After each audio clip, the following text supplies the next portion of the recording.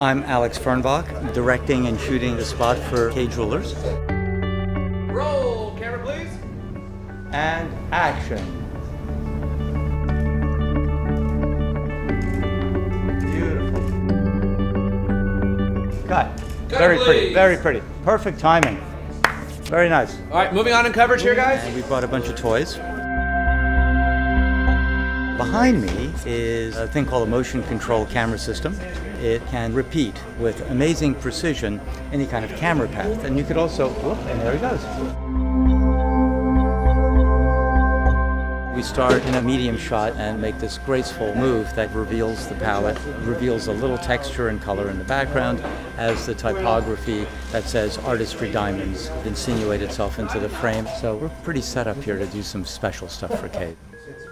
This is the second part of this Fun Fest. This is a high-speed digital data camera. It's called a Phantom.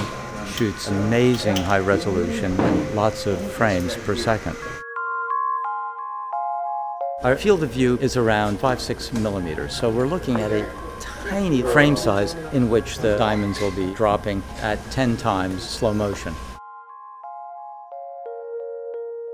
It's an editorial sequence of diamonds starting really, really tight. There's some shots that look straight ahead, others where the diamonds are falling down towards the lens. Then we have another shot where we see multiple pours.